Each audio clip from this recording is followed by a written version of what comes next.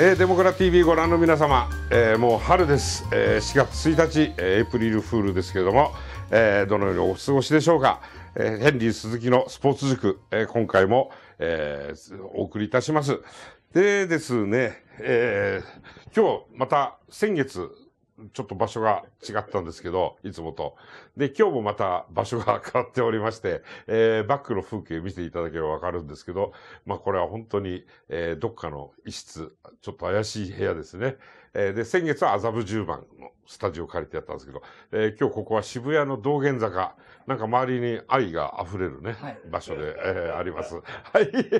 そういうところでね、なんかもう桜と、えー、ラブラブの雰囲気の中で、えー、このね、スポーツの話題、いろいろ、えー、ぐだぐだと喋っていこうと思っております。えー、東京中日スポーツの、えー、ヘンリー鈴木です。えー、よろしくお願いいたします。えー、そしてゲスト、えー、ゲストというかもうメインコメンテーターですね、今ね、えー、紹介いたします。えー、サッカープロデューサーなど数々のマルチな活躍をしております、えー、カルロス矢吹さんです。はい、はい、今日もよろしくお願いします。どうもどうもどうも。えー、矢吹さんあれだね、今、名古屋から帰ってきたっていうことでね。そうですね、名古屋から帰ってきたばっかり。ね、昨日、おとといと。はい、名古屋ドーム、名古屋ドーム。バンテリンドームです。やったったダメですよバンテリンさんごめんなさい。バンテリンドーム、名古屋ですかままたこれです。スポンサー、バンテリンにスポンサー持ってこうと思ったのにスポンサーつきませんかって、失敗したわ。はい。バンテリンドーム、名古屋、はい、ね、行ってきて、はい、帰ってきて、ばっかりで。でもすいませんね、そのまま来てもらって。ええまあ、あの、1時間ばかし、ちょっとお付き合いいただければと思います。えー、で、どうですか？春ですけど。な、なんか、あの、野球以外になんかいろいろ。あ、そうですね。あの、僕、マラソンも好きだし、自分でもちょっと、まあ、あマラソンの季節だね。たしなむんですけど、あのね、僕がちょっとびっくりしたのは、福岡マラソンがなくなるという。あ、そうだね。はいはいはいはい。まあ、あれはね、びっくりしましたね。まあ、今、で、琵琶湖はわかるんですよ。琵琶湖、琵琶湖毎日マラソンは、あれ大阪マラソンが近くに、まあ滋賀県だからあるから、まあ一緒になろうと。一緒になるわね。で、それ理由はわかるんですけど、で、今やっぱりあの、世界的に見ても、ボストンとかベルリンとかロンドンとか、マラソン大会ってすごい人気ですし、で、あの、マラソン大会が都市型になってきてるんで、で、エリートランナーと一般の普通の市民ランナーが一緒に走るっていうのが、もう、潮流中の潮流なんで、ね。うん、まあ東京、大阪、まあ名古屋ウィメンズありますけど、うんうん、東京、大阪、うん、おそらく北海道でもやりますよね、うん、多分。あの、ね、あのマラソンが、オリンピックのマラソンが、うん。オリンピックのマラソンやるからね。で、まあじゃあ福岡も、当然、あれだけ伝統ある大会だし、まあ時間の問題でやるんだろうなと思ったら、時間の問題でなくなるとは、ね、まあ、まさか思わなかったですね、それは。だから、えー、っと、あれは、福岡マラソンは、主催が朝日新聞なんだよね。で、琵琶湖毎日マラソンも、まあ、毎日新聞が主催やってるんだけど、これ毎日新聞自体もやっぱり、えー、まあ、シティマラソンが、大体あの、滋賀では、琵琶湖ではできないっていうところで、スポンサーがつきにくいっつって、うん、で、大阪の方に統合したんだけど、まあ、福岡マラソンも、まあ、おそらくは、あの、朝日新聞主催の朝日新聞とかが、やっぱりシティマラソンになかなかあそこって福岡の道って狭いとこもあるし、うん、アップダウンも激しいから、その何万人っていうシティランナーを集めることができないっていうのは多分あると思う。で、そうすると、スポンサーも例えば、アディダスとかさ、うん、ああいうマラソンシューズ作ってるところって、これ東京マラソンなんか見てるとそうなんだけど、ものすごいブースがあって、うん、そこでこのランナーに対してこう、自分のシューズはこうですよってこう売るのがやっぱり一つのね、あの、スポンサーのメリットだったんだけど、それがな、なくなっちゃう、ないと、困ると。で、スポンサーがつかないとやっぱり、こう撤退せざるを得ないっていう、そういう事情だと思う。昔新聞社がね、ガンガンに儲けた時ってこんなことなかったね。うん、もう、いくらも結構もう売れてる時はもうマラソンもやって、どんどんどんどん盛り上げましょうっていう地域をって言うんだけど、やっぱり今ってどうしてもね、新聞の売り上げが右肩下がりだから、どうしてもそういうことになってっちゃうのかなっていう感じが、えー、します。うん。でもね、九州でそういう、あれが一番大きいマラソンだったもんね、福岡マラソンがね。そうですね。だから、まあ、九州のそういうシティマラソンの、うん、まあ、市民とエリートランナーが一緒に走るっていうのを、まあ、担っていくのかなと勝手に思ってたんですけど、うん、まあ、裏では厳しかったんですね。そうだね、厳しかっただね。まあまあ、そういうちょっといろいろ新聞社事情も交えてのことだと思います。うん、まあちょっと世知辛い世の中だね、本当にね。俺も新聞社にいるから、あんまりこう言えないけど、本当そんな感じがします。はい。で、まあね、えー、あと、もう一人本当は今日、ね、その新聞社から、東京支部から、いつも来ている稲熊仁事業局長がさ、いたんだけど、いるんだけど、今日はなんか突然に、えー、どうしてもやっぱり抜ける、常時ができたっていう、うん、ドタキャン食らいまして、えー、だから今日は二人で、ちょっとね、はい、やっていこうね。まあ、はい、マラソンの事情なんかもしかしたら稲熊さんの方が詳しかったかもしれない、ね、そうなんだよね。うん、あの、東京支部は東京マラソンを、えー、主催してるからね。ただ、あれはね、複数の新聞社みんなでこう、寄り合いでやってるから、そういう意味ではね、まあ東京だからシティマラソンだし、あの、それなりにあの、ちゃんとスポンサーもいっぱいつくっていう、まあ、ある意味、陸連にとっても美味しいマラソンだったんですよね。まあそういうことでマラソンになっちゃうとね、話題からいきなり始まったんですけど、まあやっぱりプロ野球からだな、やっぱりね、4月1日、3月26日に開幕して、昨日で4試合が、開幕5試合が終わった、ね、開幕5試合終わったんだよね。はいまあ、いきなり、だからね、その、本当は華やかな話題から行きたいんだけど、うん、やっぱり驚いたらヤクルトだよね、やっぱりね。ね、昨日、ね、6人ね。まあ、キャッチャーの西田がコロナになって、うん、で、マウンドに集まってた、内野手、青柳投手が濃厚接触って認定されたそうなの。ね、そうなんだよ。だから、こういうぐらい、例えば日刊スポーツこんな感じで、ス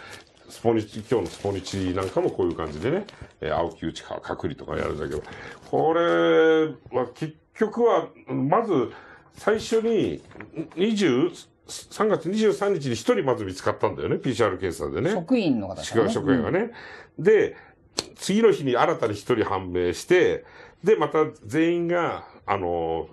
まあ、PCR 検査を受けたら、うん、そしたらまた昨日、あの、キャッチャーの西田と、あとスタッフが陽性反応で2人出た。で、こう、で、濃厚接触者が、その濃厚接触者が、まあ、マンドに集まったりした、青木とか内川だったから、この二人がまず隔離決まって、で、さらに、山田哲と、えー、西浦、ショートの、あとピッチャーのスアレス、うん、あと同じピッチャーの山野。これがみんな、やっぱり濃厚接触者かもしれないっていうことで、自宅待機になっちゃったんだよね。で、結局まあ、あのー濃厚接触者に認定されたのは青木と内川の二人だから、うん、まあこの二人は、まあ4月何日まで ?13 ですね。13まで出られないんでね。2週 ,2 週間近く出られないんだけど、まあ残り山田哲人、西浦、スアレス、山野は、うん、これはもう今日からもう一回合流できると、濃厚接触者じゃないと、に、やったんだけど、まあこれもね、すごい NPB ってあのー、悩んでるところが常にあって、うん、要は NPB としてはどうやっても試合を進めたいわけよ、プロ野球としては。うん、まあ今年オリンピックもあるから。そう、オリンピックとどうしても連動してるから、そう。で、ね、例えば、誰か、例えば、あの、オーストラ、テニスのオーストラリアオープンあったじゃない ?2 月の。はい、あれってさ、オーストラリアオープン最初観客入れてやったけど、えー、なんだっけ、あの時メルボルンか、あれ、オーストラリア、うん、メルボルンで13人感染者が出たら、うん、そうしたら、いきなりもう、メルボルン市がロックダウンして、で、オーストラリアオープンもお客さんを全部入れないことにして、うん、全部払い戻しちゃったんで、5日間ロックダウンして。だからと、そういうのも、選手の間に出たんじゃないのに、市内で出たかっていうだけで、一般の人が出たってだけで、5日間全部お客さん入れないでやるでしょ。うん、で、本来はそういうふうにやるべきだっていう声もプロ野球もね、日本のプロ野球もあるんだけど、それをやると、そのたんびに試合を止めたら、例えば今回やったらもう、DNA、ヤクルト全部なしになるよね、試合は当然ね。もうキリがないっていうことで、で、なんとかそういう陽性者が見つかっても、試合だけは続けられる方法がないかって言って、うん、で、こう、ガイドラインみたいな作ってさ、うん、で、特例、去年の場合特例2020っていう新たな条項を作って、今年の場合特例2021になるんだけど、それで見つかったらまず濃厚接触者を特定して、その選手だけを外すと。で、その上で試合をやるっていうさ、そういうルールを作ったん。だ。で、本来だったらその、その日のうち、昨日のうちに山田テストとなんかも濃厚接触者かもしれないと思ったけど、大丈夫でしたって言ってすぐ試合に出してやりたかったんだけど、うん、やっぱりそこでちょっとタイミングが、それも判定されるまでのタイミングがずれちゃったから試合出られないっていう事態になっちゃったのね。だからこれをなんとか今しなきゃならないっていうのが今、うん、NPB の方針で、うん、これね、昨日だから、ベイスターズの、うん、えー、横浜スタジアムで、うん。えー、横浜対ヤクルトだったから、これできましたけど、うん、例えば松田でやってて、うん、あしかもこれ、うん、西田が陽性って分かったの2時ぐらいでしたよそうだね、そうそうそう。それから人特定して、じゃあ6人入れ替えてっていうやつなんで、僕の友人が、あそこ、えっ、ー、と、ヤクルトの2軍、どこでしたっけ？えっ、ー、と、ヤクルトの2軍。あ、2軍の場所？えっ、ー、と、板場、荒川沿いの、どこでしたっけ、名前。裏、裏、違う、それ裏じゃない、裏じゃない。えっと、どこです戸田戸田、戸戸田戸田。に見に行ってたらしいんですけどはいはい、はい。見てる途中にうん、島が出てたらしいんですよ、二軍の試合に。あそうで途中でなんか呼ばれて慌てて出て行ったらしいんですよ。うん。っていうのができたのは、やっぱり関東の球団が、うん。関東でやってたからこれができただけうで、ん。これもし松田で見つかったら多分間に合ってないですよね。そうだね。間に合ってないね。うん。で、6人選手足りなかったらさすがに中止じゃないですか。そうだよね。うんただ、もしかしたらもっと出るかもしれないし、今度は。ただそれを中止しないために、えっ、と、なんだっけ、な、最低人数何人まで、14人ぐらいまではできるのかな？なんかそういう、まあ、これ、ちなみにね、えー、こうやって、すあの、ヤクルトのさ30日のスタメンと31日の昨日のスタメンね。だから、1番から9番までのうち、まあ、ピッチャーのスアレス入れれば、6人が消えちゃってたと。ね。でも、しじゃあ試合はじゃあどうなったかって言ったらさ、相手の DNA にさ、これね、これ勝っちゃうんですよ。本当にこのい勢いのある支部見てください、これ。コロナ抹消っていうのなければ、これ、ね、みんな大連打ヤクルト祭りだとかさ、ね、東京温度だみたいな踊りそうな勢いある締めになってて、これで勝つところがね、5対3で勝ったんだけど、これがヤクルトらしいっちゃヤクルトらしいんだよね。あと横浜も今コロナで主力がいないようなもんですそうからね。そうそう。よ、やく、あの、横浜は、ほら、が外国人選手10人がね、未だに来日できてない状況だから。あ来日はしました。あ来日はしたんだっけ？ましたまあ、まだ今、今夏季がはい隔離中か。でも多分交流戦とかじゃないですか、合流は。でも、こっからね、実戦踏んでってだからねま。ず練習すると練習したらそこからだもんね。だから、横浜はもう本当に深刻だなと思うんだけど、ままあ、ヤクルトもここで勝つっていうので、ヤクルトファンにさ、今日ヤクルトファンのあの SNS なんかでさ、一緒にこう、ワイワイガヤガヤ昼やったんだけど、そうするとヤクルトファンはまあ当然喜んでんだけど、なんで勝ったかっていう分析が面白くて、結局戦力層が、層がすごい選手の層が薄いから、誰が出ても同じなのが今のヤクルトなんですよ、とかさ。だからヤクルトファンとすると、それを嘆くよりもそれを楽しむっていうね、彼らのヤクルトファンっていうのは面白いよね。だから新庄はね。だからね、まあそういうね、あの、あんまり悲惨にならなくて済んだんだけど、ヤクルト自体は。DNA は悲惨でしたね、やっぱりね。だからね。かわいそうで、かわいまああそうです。とこれ、仮に東京五輪の野球で、うんまあ日本が仮にですよ、うん日本が仮に6人ぐらい予選になったら、うんうん入れ替えは一応はできるはできるじゃないですか、一応。理論上はですよ。あ、あのね、東京オリンピック野球、はい野球で？野球で。うんうん、これる。例えばキューバとかアメリカがうん陽性者6人ぐらい出たら、もうでも中止するしかないですよねだから人数が足りなくなったら中止っていう、だからそそこを今その、なんていうの、このプロ野球でテストしてるっていうかさ、いやってる段階なんだよね。れ見て思いました？あの、うんた試してんだろうな、いろいろ。うん、そうそうそう、いろいろ試して。で、これでもしね、こうヤクルトがこういう措置を取って山田テストとかなんかを、まあ今日から合流させたと、うん濃厚接触じゃないと。ところが、また明日、明後日ぐらいに、実は陽性になった、陽性だったとか言って、それでクラスターでも起きたりしたら、もう今までのガイドラインが全部崩れ去るから、そそしたら、おそらく、とんでもない事態になる。うん。だプロ野球、よくこう、プロ野球の今の斎藤コミッショナーがよく言ってるのは、やっぱり、もうこれはオオリンピックをやるためにはやっぱりこういうところでつまずいていられないっていうさ、なんか使命感持ってるからさ、オリンピックのためにさ。だからこういうふうにやってんだけど、まあ結構危ない橋は渡ってんだなっていうね、感じはしますよね。まあそれだけ密接に、えー出てるっていうことで、まあでも、ね、えー一応今のところここまで、え5試合来て、まあ今、また新たな6試合目やってやってんだけど、えー、まあドラゴンズ見に行ったんだから、はい。うん、ドラゴンズの話からしようか、最初にね。どうき去年との違い、まあ去年スタートとしてすごいドラゴンズ悪かったんだけど。まあ今年は、うん。えー、与田監督のうん、人気に限定して言うんだったら一番いいですよね、スタートダッシうん、ュ的には。うん、うんスタートダッシュ的にはいいですけど、うん、やっぱり、うん、えー、9回で打ち切りっていうのが、うん。ものすごくこう、うん監督さんたちの,、うんあの手を早めてるそうそうそう、感じはねそれはもう、現場で見てて思いましたね。うん、原監督も与田監督もまあ早かったですもんね。あと、高橋周平にダイソー出したりとか、うん、うん。あの、できる手は何でも打つっていう感じですね。だ俺ね、あの、今年のプロ野球絶対見てて思ったんだけど、すごい見てる方も楽なのよ。うん9回で終わりっていう前提が頭にあるから、あ、じゃあここピッチャーこれだな。うん、代打もここ出すなとかさ、全部当たるもん、はいはいやっぱり。うん。だからもう戦力通りのこの図ができてるっていうね。いや、だから本当、さっきね、ちょっとあの、うん。ディレクターの大久保さんとも話うんして、たんですけど、うん、本当早くタイブレークを入れてほしいなと。ああ、タイブレークね。うん。9回打ち切りにするんだったら、うん両チーム10回ワンアウト1、2塁とかからまあ始めると。ただこのさ、たなんていうの、9回打ち切りにしろ、ね、あの、まあ、その目的っていうのが、コロナで試合を長引かせないっていうためじゃない。はい。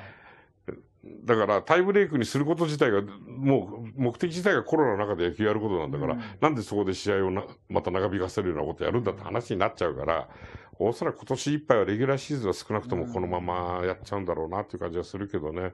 仮にですよ、うん。このペースで引き分け増えたら、うん。本当にシーズン通してうん20引き分けするチームって現実的にいやいや、出てくるんで、出てくる出てくる。はいさすがにね、引き分け20はよろしくないと思いますね。えっ、と、誰か、誰か言ってたよ。うんえっ、と、今年の試合は、40勝40敗、うんえー、い80で、だから40、63引き分けとかなんか、うん引き分けの方が勝ち星多くなる試合出るんじゃないかとかね、いうのも。で、言ったけど、俺だからね、計算したのよ、今日。あの、この引き分けって一体どういうふうになったの、でさ、えっ、と、一昨年までは延長12回だったね、2019年までは。で、一昨年はさ、全部ではセ・パ両リーグ合わせて858試合やってるんだけど、うちし引き分け22試合だったの。うん858分の22、3%全体の。で、去年は、まあ、120試合に短縮してやったじゃない。で、これ延長10回もやったよね、去年は。で、延長10回で、これでやったのが、まあ、全部で720試合やって、引き分け40試合、およそ6%。だから、一昨年の率からすると2倍になってるね、3%。じゃあ、今年はどうかっていうと、まあ、昨日のね、あの、各球団が5試合を終えた時点で、まあ、30試合やったわけだけど、セ・パ両リーグ。もう4試合引き分けあったわけよ。率からすると13%。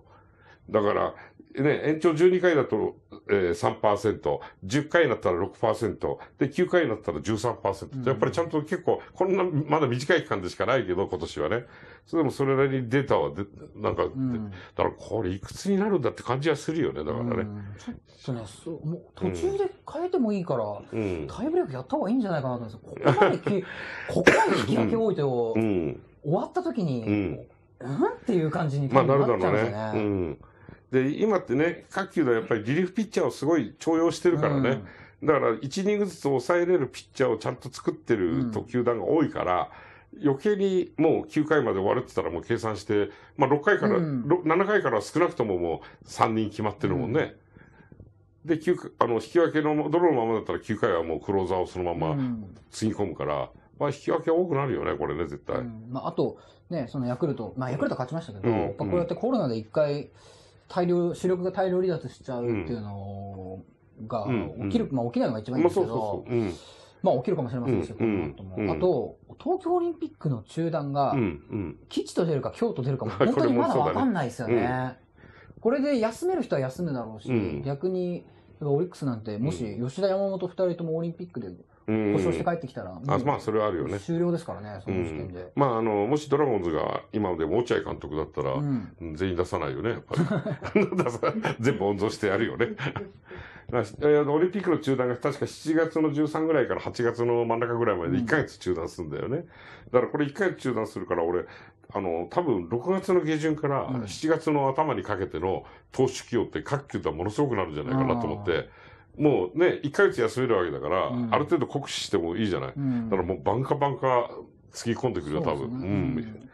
多分1、2点負けてる状態でも、あのセットアッパーのエースクラスをポンポンポン持ってくるよね、そしたらね。まあ、あと中日に限定したことで言うと、うん近藤蓮っていうピッチャーが育成から試合がなりましたけうんど、。一斉ドラフト1位のね。あの、なんだろう。まあ、10日間、うん。一回抹消するとね、10日間一軍に上げれないですけど、ううんん。ちょっと疲れてるなっていう人は、うんあえてちょっと一回10日休んでくれっていうのをやって、うん。二軍から調子いい人上げてとか、割とそういうふうなこうフレキシブルな対応みたいなうんものが、あの、例年以上に多分大事になる、うんまあまあやるだろうね。うん。おそらく2軍と1軍ピッチャーガラガラこうやってうん。変えていくよ。うん。うんだから、今度は彼、札幌学院大？そうです。でも、あのー出身は東京ですね。そう、まあ板橋区って言ったね、そういえばね高校。まで東京うで、ん。で、大学だけ札幌。今多いんですよ。うん。北海道の大学に野球留学する大学生で。なんで？いや、もう環境がちゃんとしてるからです。あ、向こうの？はい東農大オホーツクとか、うん。やっぱり。大学が多いの？大大学に行く人が多いですねうん。まあ、高校はまあ、ちょっと、また、岩手とか青森ぐらいだとう思うんですけど、ん。あのーやっぱそれなりにレベル高い。大学が増えてきたので、うん。あ、あそことか、えっ、と、山川とか殿崎とかがいる富士大とかうね。ん。はいはいあれはい。はいは青森でしたけど、はいはいはい。うん東北、北海道にうん。大学から野球留学するっていう人もうん。すごい増えてきましたね。やっぱり何そういう屋内練習場とか、まあ夏は練習ちょうどいい環境だしね、練習しやすい環境だし。まあ、これ冬は高校になりますけど、青森山田に行った僕の友達が言ってたのが、うんうん。あのやっぱり東京いるとどうしてもうん遊んじゃうと。ううん。ん。誘いも断れないし、うん。でそれで、あの自分で自分を律するために、もう大学とか、もう野球に集中したいから、うんで、大学思い切ってうん行くっていう人が、やっぱりある程度いるみたいです、偉い。ね、それはう。ん。それはある意味正しいことなんだよね。まあでも18までやっぱり野球やってたらう、ん。いろいろ、ね、みんなバカじゃないし、いろいろ考えて、うんそういう選択肢取るんじゃないですか。そうそうね社会人までやりたいじゃないですか、やれるんだったら。そうだよね。だからサッカーだってそうなんだよね。い意外とあの国見高校とかああいうとこ強いのは、あの、やっぱり、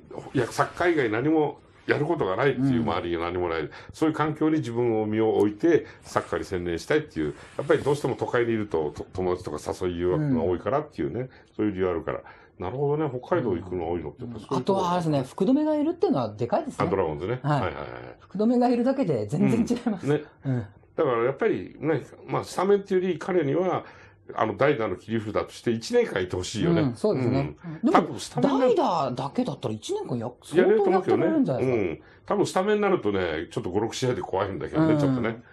ま、守っちゃうとね、あれだけど。だからまあ、福留はでかい。あとはリリーフピッチャーだよね、大きいのね。あドラゴンズはね。うん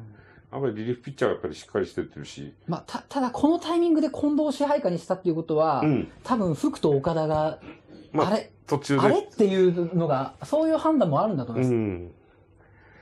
いろいろこれからやると思うよ、本当に。うんね、だあの、まあ、ドラゴンズの話ばっかりになっちゃうからね、他のあ球団も。ドラゴンズだけじゃなくて、うん。全チーム多分今年は本当にそういうやりくりが、うん。あの、大変なシーズンだと思いますね。うん単純に主力の力だけでうん。優劣決まるっていう感じじゃないとまあ、思うな。確かにね、あの、巨人も、なんか優勝候補って言われてるけど、もう昨日なんかの試合見てる限りだと、ちょっとね、先発もうん5番手ぐらいから苦しいんだなと思うし、エースの菅野が大体あ、足抹消になりましたね。だ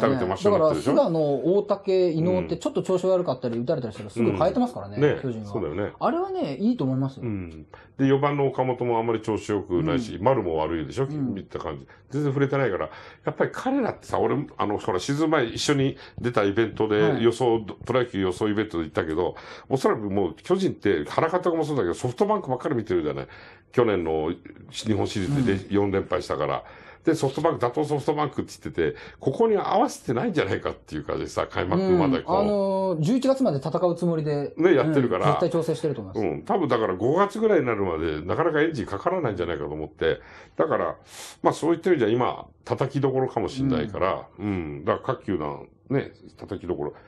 からそれから阪神はやっぱりね、元気はいいよね。やっぱね。うん、みたまあ、まだね、5試合ですまあから。5試合なんだけど、見た感じやっぱり開幕2戦目でやっぱり佐藤輝明のホームランちょっとびっくりしたわ、俺。あの、スライダーをさ、左ピッチャーのスライダーを叩いてバックスプリンの作りの上部じゃない。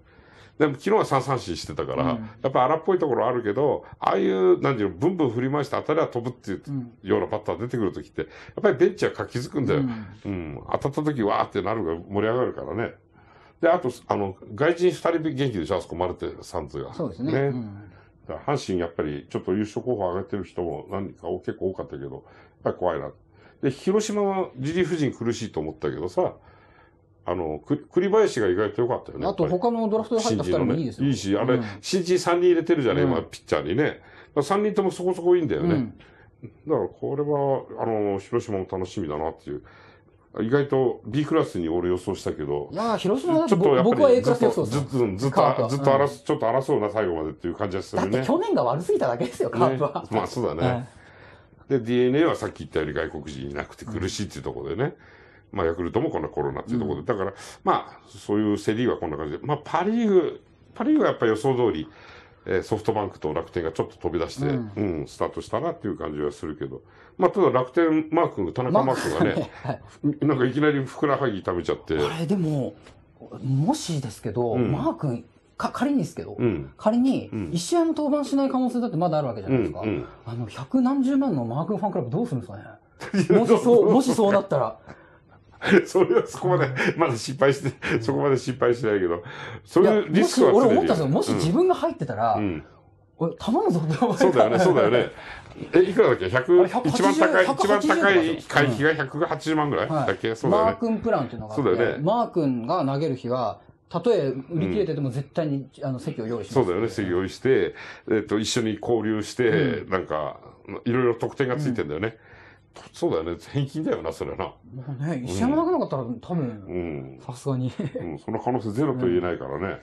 まあ、それでも楽天ってほら、マー君はいないけど、やっぱり開幕3戦目であれ、早川って早稲田からドラフト1位で入った、ある新人がビシッと6回無失点かな、いいピッチングしたから、まあ、まあ、そういった意味じゃ、あ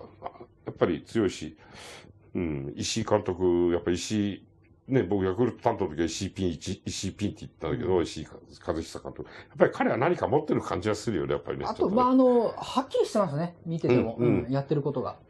そうそうそうそう。もうあの、何でも、これはこう、これはこうって、はっきり口にするし、うんもうそれは彼が、あの、現役の時からそうで、うんあのー彼現役の時って俺がヤクルト探偵やった時に、神田うのと付き合ったのよ。神田うのさんとね、はいはい。あのタレントの。で、結構それを 追いかけさせられてですから、当時のさ。で、神田うのさんと今どうなってるのか聞いてこいみたいな話して、で、もうやだな、そんなこと聞くのって言いながらさ、ピンのとこ行ってさ、ちょっとさ、聞きにくいんだけどさ、神田うのさんとはどうなの？まだ続いてんの？って言ったら、はい、続いてます。うん、どうなの？まだ、その後もずっとうまくやっていきそうって言ったら、はい、愛してますから。つってもう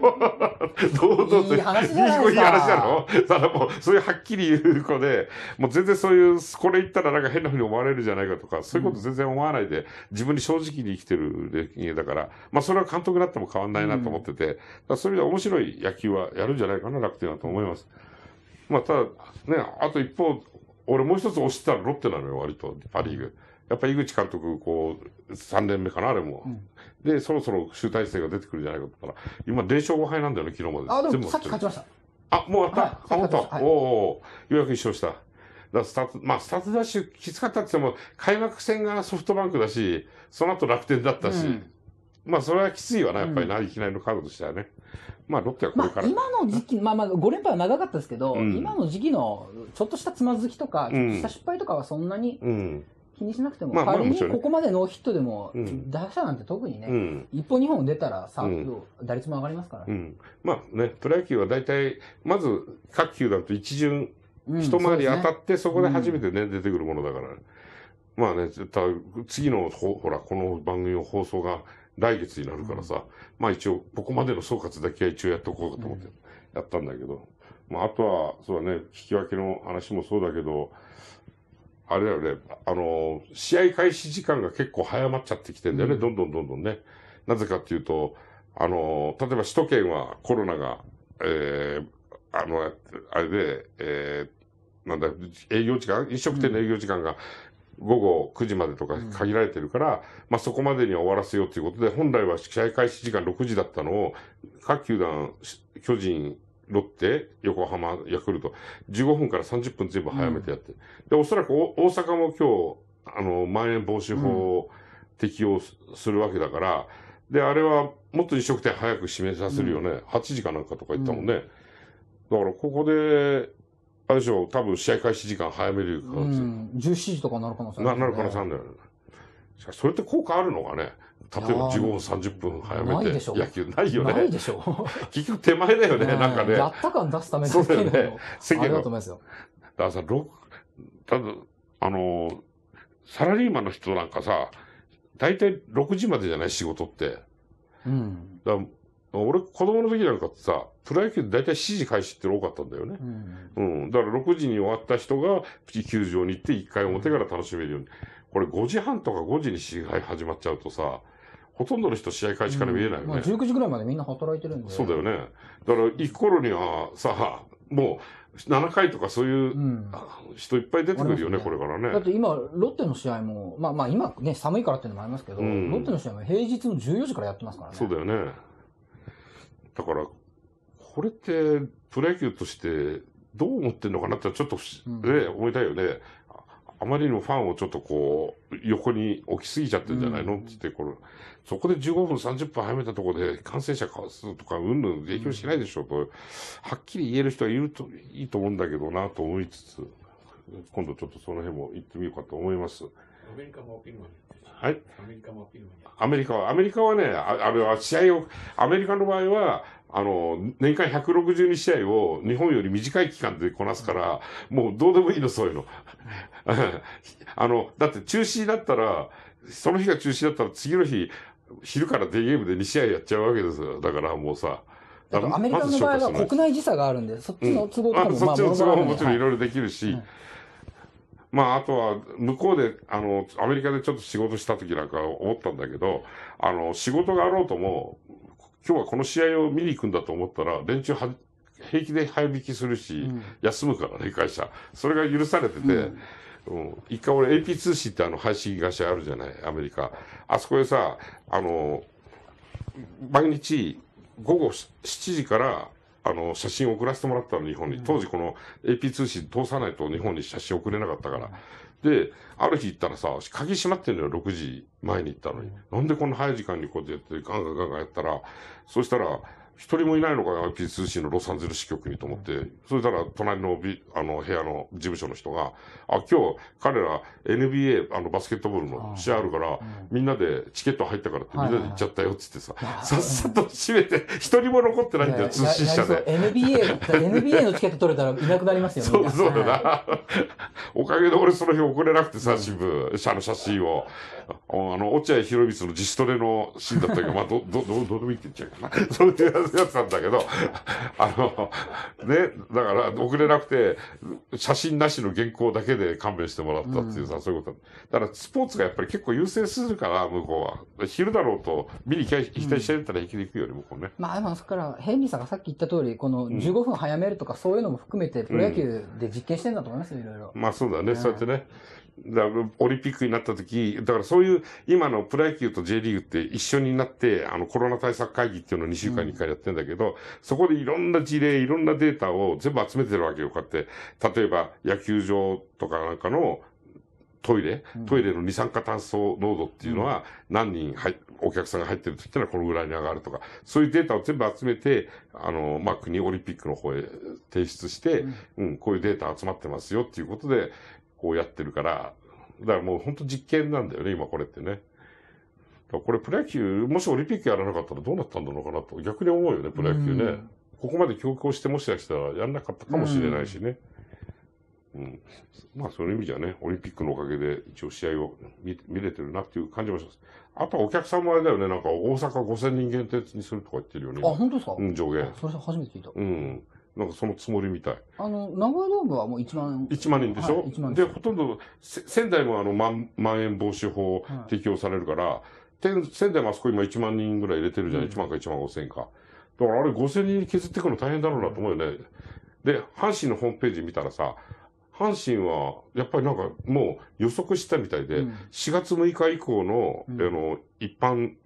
チケットは、まだ売り出しておりませんと、うん状況を見てやりますって。だから、4月6日以降まだ出してないから、まあ混乱はそんなない。うん楽天多分売っちゃってるんだよね、もうね。あそうしたらどうするんだろうね。ー一回全返金じゃないですか。ね、うん返金、うん全部返金して、改めて、うん、しかないですよね。で、シーズン席だけだよね、多分そうしたら5000って言ったら。か、まあ、それで、まだ余ってるとかもしあったらうん、ちょっと売るぐらいですね。だから結構また混乱招くだろうなっていう、えー感じはします。まあそんな感じでね、えープロ野球いろいろありますけど、えーちょっとね、えープロ野球の関連する、えー番宣を、えーやらせていただきたいんですけど、あの、東京新聞にスタジオがあって、そこで東京中日スポーツもななんだかんだ企画をやろうっつってね、あのーそこから配信っていうのをや始めて、で、この開幕前にね、こうこういうのやったんですよ、こういう。はい。これ YouTube の東京新聞チャンネルってとこで見られるんですけど、吹きを風呼べよ優勝って。えで、私と、えー、あの、ドラゴンズあるあるとか書いてる大山熊尾君っていうね、まあ、カルロス、ね、知ってるけどね、彼ね、大山。を呼んで、えー、やったんだけど、他にもう一つ、もう一つで、あとゲストで、この、矢沢健一さんをね、えー、自宅から、あの、ズームで加わってもらって、えー、やったんだけど、まあ、1時間20分ってちょっとね、えー、長長尺の番組なんですけど、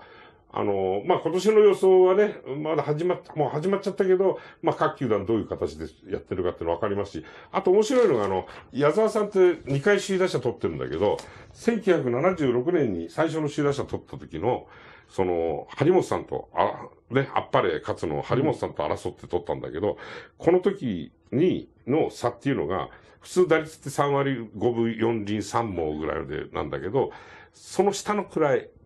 死という糸ね、うん、糸の段階で、糸で争ったんだよね、最後は。で、6死差っていう6糸差だったわけよ、最後は。で、もうその最後の打席で、この打席で打たなかったのも終わりだっていう打席でヒットを打ってあったんだけど、その時の1打席1打席の、何、かけた時の思いなんかすごいよく矢沢さん覚えてて、あの、例えばし、やった打った最後に打ってね、決めた、打った、やったぞってやったのに、ベンチが全然盛り上がってなかったとかね、そういう、ちょっとした面白いエピソードなんかを交えて、うん、えー、いろいろ話してくれてんだ。まあそういうのをね、ウィキでだけで面白いと思うんで、無料ですので、あの、東京新聞チャンネルっていう検索していただいて、その中に、あの、入ってますんで、えー、もしよろしければ、えー、ぜひともそちらの方も見ていただければと、えー、思います。えー、ということで、プロ野球でね、結構熱く話してきましたけど、もう同じ野球つながりで次高校野球行こうか、はい、高校野球。で、今日、高校野球決勝が終わって、東海大相模がね、うん、優勝して、サヨナラ勝ちして、割と俺感動したわ。あのー、試合前、あれでしょ、あの、キャプテンが、ね、急性胃腸炎になっちゃって。あ、そうなんうん、キャッチャーなんだよ、キャプテン。うん、だからキャッチャーでキャプテンだから、完全に大黒柱じゃん、うん、それが試合前急性胃腸炎になって病院担ぎ込まれちゃって、欠場。うんだから選手たちあの、背番号6だったんだけど、その6をユニフォームをこう下げながら戦って、で、まあ、すごい競り合いだったんだけど、最後、えー、相模が、あの、サヨナラ勝ちっていう、うん、うん、なんか劇的な優勝だったんだけど。で、今年のプロ野球、あの、高校野球って、やっぱり特殊なルールを作ったじゃない。あの、ピッチャーの方を守るために、一週間の、なんか、一週間で500球までしか投げちゃいけないっていうピッチャーは、このルールがさ、なんかものすごいそぐ、あの、頭を混乱させて、うん、俺こういう表作って作ったんだからもう、これ例えばあのね、ベスト4に、あ、すいません、ちょっとアップしてもらいます。ベスト4へ進んだ球団ね、東海大相模、明豊、天理、中京大中京っていう、この4チームの表なんだけど、この各チームのピッチャーが投げた球数をこうやって書いてったわけ。で、かわいそうなのが、この一番下にある中京大中京の、これ黒柳って読むんだけど、あず柳じゃなくてね、黒柳。何がかわいそうかっていうと、1週間で500球っていう数字だから、で、彼1回戦のね、一番しんがりに出てきたのこの中京大中京。だから25日に出てきて、で、そこから7日間やると、準決勝までに4試合投げることになって、で、500球を下手すら超えちゃうっていうやつだったね。だからこれ、えっ、ー、と、25日の1回戦投げて、次が2回戦が27日中1日。で、次また中1日で29日の準々決勝。で、また中1日で、ね、昨日の準決勝だったわけ。で、もう準決勝は残り121球しか球が残ってなかったわけよ。うん、彼はないよ。で、他のチームはさ、それより前に、あのー、1回戦やってたから、だからこの球数制限に他のピッチャーは引っかからなくて、うん、この黒柳だけ引っかかっちゃったわけ。なもんで、すごい中途半端な思いで多分黒柳行ったと思うのね、うん、これ、準決勝に。で、この準決勝をクリアすれば、この1回戦の球数が消えるから、うん、決勝は、まあ、もっと余裕を持って、あの球数あるんだけど、だからなんかさ、この中京大中京もそういうところですごい考え、ちょっと中途半端だったのか、まあやっぱり準決勝はもう黒柳はある程度休ませようと。うん、その代わり、最後の方なったら7回、8回ぐらいから投げてくれって監督が言ったんだって、黒柳に。そそうしたらさ、あのー、まあ、黒柳も最後のつもりで言ったわけよ。うん、そしたら黒柳の代わりに、あの、投げた先発ピッチャーが4回にボロボロに打たれて、うん5点失って、でここで監督が黒柳に、もう、これじゃあ何点取られるかわからんから言ってくれって言っちゃったわけ。うん。で、黒柳がそれまで最後の方に行くと思ったから、なんか全然裏方の役とかやったのに、突然行ってくれって言われたもんでブルペン行って、いきなりそこで投げ始めたら、そしたらなんか肩がちょっと、えっていうかで重いっていう感じになって、でもそのままマウンド行って投げたんだけど、え2回ちょっと投げたら、もうぐたっとなっちゃってて、なんかいいきなり医学療法士とかの甲子園球場にいる、がバーッとベンチ連れてって、肩見てもう無理ですって言って、で、交番で。で、黒柳も行ったのを突然作ったから、なんか、あの、肩がすごい、ちょっと、あの、重くなっちゃったみたいなこと言ってて、あなんかちょっと、その辺の中途半端なことをやっちゃったゆえの弊害で、すごい黒柳って150キロぐらい出るピッチャーだしさ、もうドラゴンズなんかも注目してるピッチャーだったのに、なんかとんでもないことやっちゃったな。だからこういうことやるくらいだったらさ、なんかこう不公平じゃん、大体。うん。だから、もし500球って作るんだったら、1回戦から準決勝まではせめて、ね、8日以上空けて、その引っかからないようにするとかさ、そこまで配慮してやらないとこういうこと起きちゃうし、大体1週間に球数500球って逆になんか、あれだよね、多すぎるよね。だていうか、何を基準にそれを決めたのかよくわからないよくわかんないよね。ねえ、だって、ひひ1週間に500球って言ったら、100球ずつで5日間投げるっていうことでしょ、だから、これで肩を守るっていうのはおかしいんじゃないの？っていう感じはして、だから、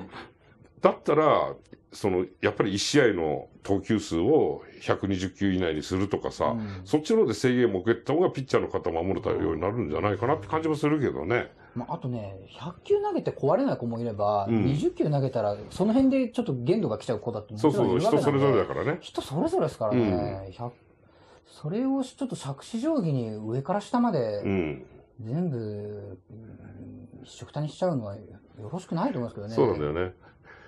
で、俺もう一つ思ったのが、やっぱりその、他のピッチャーも、まあさっきの、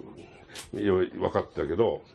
これ、勝ったのってさ、あ、すいません。またアップをお願いします。この、決勝に進んだ二つの高校ってさ、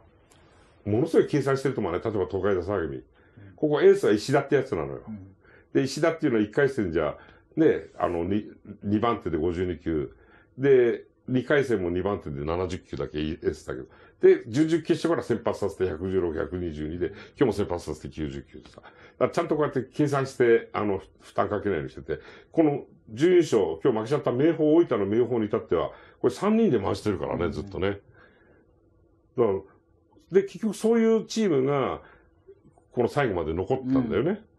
だから結局球数制限設けたらどうなるかって、私学の強いところがそのまま強くなるってそそうれだけです。そうそうそうそう、あの、ピッチャーが集まってるところが、集めることができるチームが強くなるっていうことで。で、今年ってもう一つ、あの、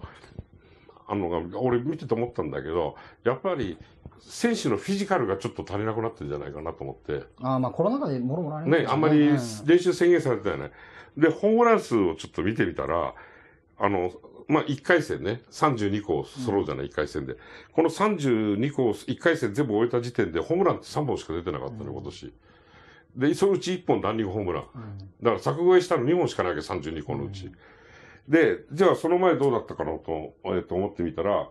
これ一昨年のに、去年ね、選抜なかったからね、やんなかったから、一昨年の選抜なんだけど、一昨年の選抜1回戦終わった時点で19本出てんだよ。うんだから19本が今年3本にどんと減っちゃって、で、なんでかなと思うと、やっぱり、あの、どっかの解説者も言ったけど、やっぱりコロナで、その高校全然みんなこうフィジカル、特に外ではまだトレーニングできたけど、うんその室内の筋トレっていうのが非常にその密になりやすいっていうことで、あの、時間がすごい制限されてできないところもあったから、やっぱりその辺がすごい、あの、影響しちゃったんじゃないかとは言ってたけどね。まあ、そう思うと、大変だよね、高校生ね。うん。だからこれからプロ入ってくる、今の3年生なんかまた来年プロ入ってくる子も何人かいるだろうけど、やっぱり体作りに結構、やっぱり1年2年丸ひし咲かないとなかなか難しいんじゃないかなと。うん、同じことなんかロッテの佐々木朗希もそそうだって言ったからね、ちょっとフィジカルが劣る。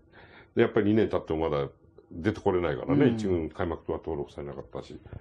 まあそういうフィジカルがどれだけ大切かっていう、えーお話です。はい。ね。まあ、そういうことで、じゃあ最後の、えー、話題いこうかな。まあ、オリンピック。やっぱり、まあ、毎回やってるからね、オリンピックね。もう最後、まあ、聖火リレー、もうこの1ヶ月もいろいろあったのよ、オリンピック、結局さ。あの、海外からの観光客入れないことを決めたとかさ。あ、あれこの1ヶ月でしたっけ？そうだよ。あれ、はい。3月じゃなかった？あれ決めたの。そうだよ。前回言ってないもん、この話まだそこまで。で、その後、なんだ、あの、開会式の、ううん、ん。あの、チーフ、プね、ディレクター、まあ、統括ディレクターが、まあ、渡辺直美さんを、まあ、なんか、渡辺さんって、まあ、人を豚に例えるようなうん。演出をして、えーそれが、なんだ、見た目容姿で差別するって言って、えーだって言ったけど、とか、あの、それ結構いなくなっちゃったとかね。まあ、いろいろあったけど、まあ、ど、どうだろうな、その、まあ、しかし、まあ本当にまあスポーツと関係ないところで揉めてますね、ずっと。だってスポーツだってもう何も見えてないじゃん。これ、どこにも。うんなんかちょっと見えたのな、か空手の子がパワハラ受けたっつってね、こうやって。だから、結局出てくる笑いってそっちになっちゃってるんだよね。うんだまあ代表選考とかなんかも何もやってないから、まだ。だどんどんどんどん、あの、日はもう、ね、あと、本当わずかなんだけど、うんで、普通さ、他の国でやってると、例えば前回のリオデジャネイロオリンピックって、1ヶ月前、2ヶ月前ぐらいの話題って向こうから出てくるの。まだ競技場ができてないっていう話題なんだよね。うん 大体ね。他の国も大体そうなのよ、やると。競技場間に合うのかとか言ってね。まだ見るとこの鉄骨しか、そのプレハブみたいなところでさ、うんこの鉄骨しか組んでなかった。でも、まあ問題ない問題ない。絶対間に合うとか言って。うんで、なんとかできてきたの。それ、で、今年の場合はもう去年やる前の段階でもう競技場は完全に完成してたし、だから1年経ったからもう完全な状態なんだけど、ハード面は完璧なんだけど、うんそその辺のソフト面が全くできていないっていうことがすごく分かって、さっき言ったその開会式のね、話、ディレクターの話だってさ、あれもともと野村萬斎さんとかさ、あの、三木琴さんとかさ、山崎隆映画監督の、まあ、そういうトップクリエイター8人を集めて、その開会式のプロジェクトチーム作ったでしょ？で、俺思ったんだけど、トップクリエイター8人が集まって、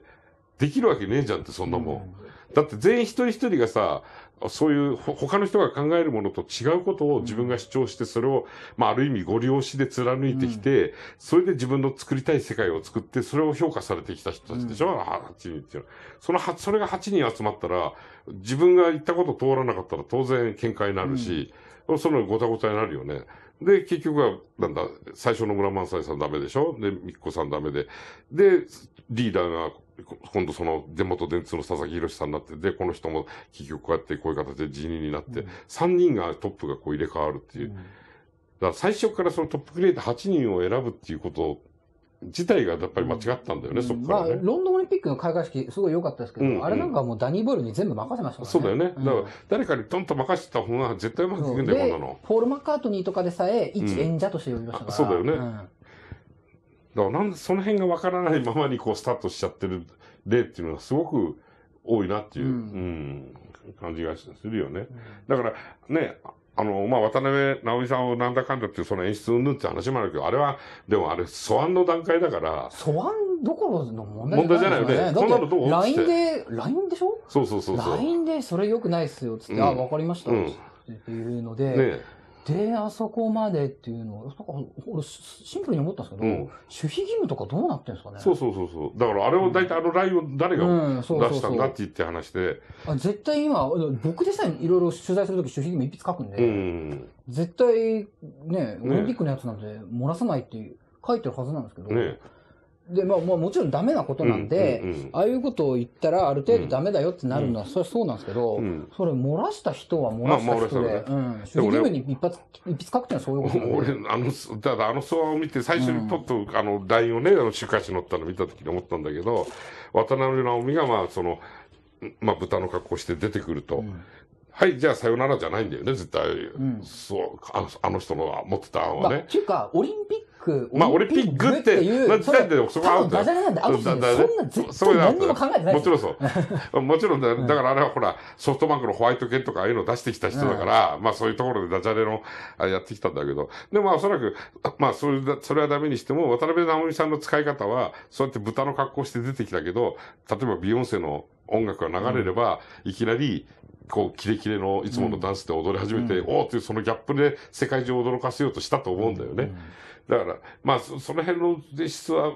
うん、俺は、それもありはありだけど、まあ、それはでもオリンピックじゃできませんよって言ったら、それはできませんよで終わるよねっていう、その程度の問題だと思ったら、こんなに大きくなると思わなくてさ、まあ人間関係の話もいろいろあったんじゃないかなとはね、いろいろ推測しますけど、まあそんなことをしました。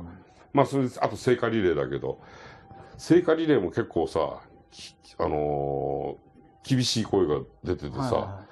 もうあどの新聞かは言わないけど書いたの。要は、まあ、スポンサーがコンボイトラックじゃコカ・コーラとかメインスポンサーがさ、で、その後に聖火ランナーが走ってくると。で、もうその騒音があまりにもうるさい、お祭り騒ぎだと、これじゃ。で、お祭り騒ぎで復興オリンピックって言ってるのに復興のメッセージが何もないじゃないかっていうふうになんか書いて、さらにそれを見てた人が、あの、そのコンボイのトラックの上からディスクジョッキーが、DJ が、マイクでこういろいろ盛り上げようとこういろいろ言ってると。ところがその DJ がマスクをしてないと。だ飛沫が飛んでくるじゃないかっつって、もう、なんかそういう談話をさ、ある新聞はこう、書いどんどんどんどん書いてさ、まあやってんだけど、おい、お祭り騒ぎは別に悪くないと思うんだけど、どうなの？もう僕ね、その映像をちょっと見てないんで、うん。そのまあまあどういう音楽を流してたか。い、や別に普通の、要するにコンボイ車の横にあの液晶がこうバーっとこうついてて、その、今、オリンピックの過去の名シーンとか、今スタートしようとしてる聖火ランナーの姿とかそういうのもこう映しながらやって、で、まあ音は普通の、サウンドはあの、普通のラップみたいなのもあるし、うん。別に普通、で、音量をそんなにガンガンいってるようには思わないんだよね。うん。まあでもそれとにかく気に食わなかったんじゃないですか？そうね。ん。そもそもオリンピック自体が。そうだね。だから、最初にそこがありきにやっちゃったらもう何でもそれ気に食わなくなるよね、それはね。まあ、まああとは、まあオリンピックと少し関連しますけど、うん。あの、大坂なおみと錦織圭が、うん。あの、エイジアヘイトに対して、はいはね。うん。正式に、うん。えー NG を表明しましたけど、はいはいまあ、存じ上げてない方に、うん。ある程度、ざっくり解説すると、えーブラック・ライブズ・マターの、うん。ううんん。運動がありましたけど、それがある程度盛り上がって、うん。次はアジア系の人に対すうるん。差別じゃなくもう単純な暴力っそうだよね。ていうのがアメリカの中で、まあアメリカだけじゃないと思うんですけど、うん。アメリカの中にずっとあったんですよ。うん。ずっとあったんですけどこれを機会にもう声を上げようっていうことで、うん。そういうことをまず、うん。えー西堀圭と大阪のあれはね、始めたっていうこあ。のーあの二人がうん、その、ボンとこう、動画に出てるんだけど、二人がね、あの、ストップアジアンヘイトっていう出てるんだけど、あの二人が走ってる映像っていうんじゃなくて、あれってテニスツアーを統括してる ATP と WTA ね、あの、テニスツアー統括してる。あの二つが、がホームページで、うんこの大阪の錦織だけじゃなくて、世界のトッププレイヤー7、8人集めて、みんなに一言ずつそれをやめようって言わせてるわけよ。うんで、これ発端が何かっていうとさ、やっぱ大阪なおみが、あの、ストップアジアヘッドっていうのをこのツイッターでやったので、そこからもう一日も経たないうちに、うんすぐにその ATP と WTA は、じゃあもうみんなの選手たちの声を集めようって言って、うんすぐに大阪なおみのメッセージ、西織のメッセージ、他の選手たちのメッセージ集めて、もうすぐに、すあの、1分ぐらいの動画を作って、ポンとホームページ出した。この動きの速さがすごいな。選手から声が上がってきたら、あの団体って、ポンともう一日ぐらいで作って出しちゃうと、それを。後押しすると、それを。だからさ、このテニス協会って、前もあったよね、あの、去年の、今年か、全米オープうんンで、全米オープンの前の試合か、大阪なおみがあの、ブラックライブズマターに反対して、準決勝をボイコットするって言ったじゃない、試合。そしたら、そんなの出てくれって、その WTA の当時のツアーが言うかと思ったら、あ、わかったと。当然だ、それは。つって、じゃあ大会自体をその日はもう全部止めちゃおうと。うんで、止めちゃったんだよね、あそこ WTA 実際に大阪直美とここうして。だから、選手から声上がってきたらすぐにそれを、まあ判断して、あ、それは正しいことだと思ったらすぐにそれを実行にする。だからこのツアーの姿勢って、テニスツアーの姿勢ってすごいなと。だからこれオリンピックが真似りゃいい。東京オリンピックは真似ないよかったのにと思って、大体今回のアジアヘイトの話にしろ、これって、あの、もう差別やめようっていうのはもうオリンピック、オリンピズムそのものじゃない。だから本当だったら、それアジアにもかかってくる問題なんだから、あの、東京オリンピックの主体である東京都とか、もしくは日本でもいいよ、政府が。それが真っ先に、ね、テニスツアーより先に言うべき話だったんじゃないのかと俺思って、で、それを、そういうことを気づかない、そこに気が回らなかったのが、小池都知事とか菅市長だから、うん。もうチャンスだったのになと逆には思ってね、ん。あの時にすぐに今、ジャンヘッドやってるオリンピックの力でね、そういう差別なんかをなくすと、まあ、ね、今、なんだっけ、復興オリンピックとかコロナに打ち勝つった証でやりたいとか言ってるけど、そういう、なんか空虚な、もう実態伴わないスローガン、意義じゃなくて、もう差別をじゃあ私たち、もう世界から撤廃するために今回のオリンピックやりますって、うん。そっちの方がよっぽどこうみんな納得したんじゃないの、うん。そうしたら聖火リレーだって、もうちょっと好意的に迎えられるかもし、かもしれないしね。だからそれもったいないな、もったいなかったなと思うよ。彼ら、ううんん、その辺に気が回らなかったのはね。まあでも、テニス、本当テニス協会がこういうことをいうふうに、あの、世界のテニス協会やってくれたっていうのはすごい、あの、明るい、あの、ちょっとスポーツの、だからちょっと最近ずっと落ち込んでた暗いニュースばっかりでスポーツが、その中ですごい明るい話題だと思うんで、うんあの、嬉しかったと思うよね。あの、いい話題出してくれる。まあ、ということでね、えー、いろいろ、えー、今回お送りしてきた、えー、スポーツ塾ですけど、もうほぼね、1時間経ったんでね。はい。えー、来月はゴールデンウィーク明けになるのかな？俺だけな僕は第一木曜日。5月7日ぐらいじゃないですか。どうですかね。あ5月6ですね5月6ですかうん。僕開けたちょっとすいません、調べてなくて。はい。申し訳ないですね。そのぐらい覚えとけってやつですけどね。あの、第一木曜日、えーまた午後8時から、えー初回放送をお送りしますんで、えーまた来月もいろいろ野球の話題、またオリンピックもまたなんかきっと近づいてきて、またごちゃごちゃ出てきそうですし、はい。まあ、いろいろな話題がね、えーお送りしていきたいと思います。はい。えーここまで、えー見ていただきましてありがとうございます。えーカルロス君もありがとうございました。はいままた、じゃあ、それでは来月。